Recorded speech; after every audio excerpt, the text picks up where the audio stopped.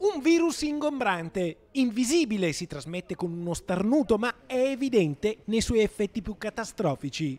Covid, una vera e propria calamità sanitaria, economica, sociale. Le abbiamo viste di tutti i colori, zone rosse, arancioni, gialle, teatri e musei chiusi, ospedali operativi 24 ore su 24.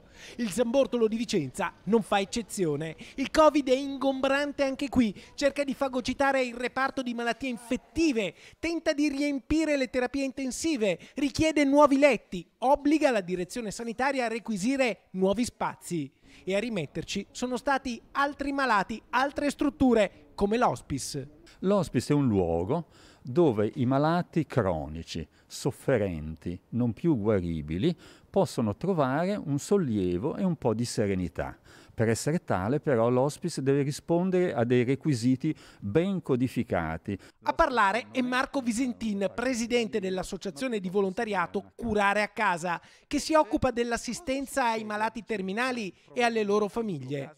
Si è rivolto a Rete Veneta perché a Vicenza, caso unico in Veneto, da marzo, per far posto ai letti supplementari riservati ai pazienti Covid, i locali dell'hospice sono stati sottratti e spostati in camere non adeguate. Le camere dove sono stati trasferiti sono camere a tre letti che non permettono la privacy, non permettono di ospitare altre persone, non permettono di fare dei colloqui di tipo psicologico per esempio. Non ci sono dei locali comuni che permettano attività diversionali come la musica, come la pittura, necessarie per il programma appunto tipico dell'hospice. Quindi al San Bortolo ci sono delle camere con scritto hospice, ma di fatto l'hospice non c'è più.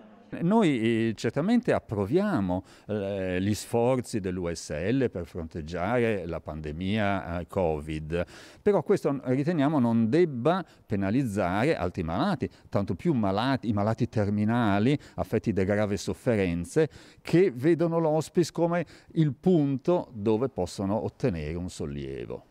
Insomma, il problema va risolto. Noi di Rete Veneta sosteniamo le ragioni dei malati terminali e porteremo la voce dei volontari dell'associazione Curare a Casa alla direzione sanitaria dell'Ulsotto perché si attivi e prenda l'impegno di trovare in tempi brevi una struttura che risponda agli standard degli hospice.